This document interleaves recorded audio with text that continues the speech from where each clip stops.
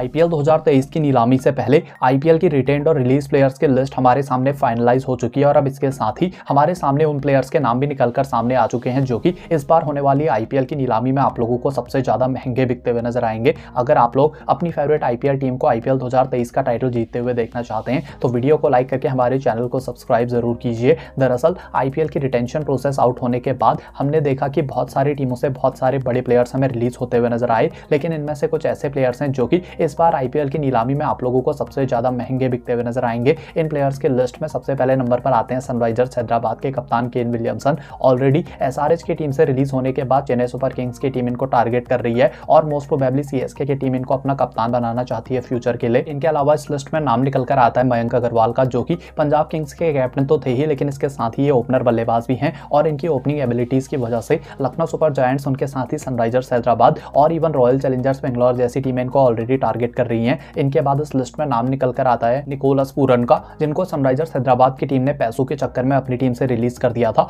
ऐसे में इस नीलामी में आप लोगों को निकोलस पूरन के ऊपर भी काफी बड़ी बिडिंग होते हुए नजर आएगी कॉमेंट करके आप लोग बताइए आपके अकॉर्डिंग कौन है वो प्लेयर्स जिनके ऊपर सबसे ज्यादा बिडिंग होने वाली है इसके साथ ही वीडियो को लाइक करके हमारे चैनल को जरूर कीजिए सब्सक्राइब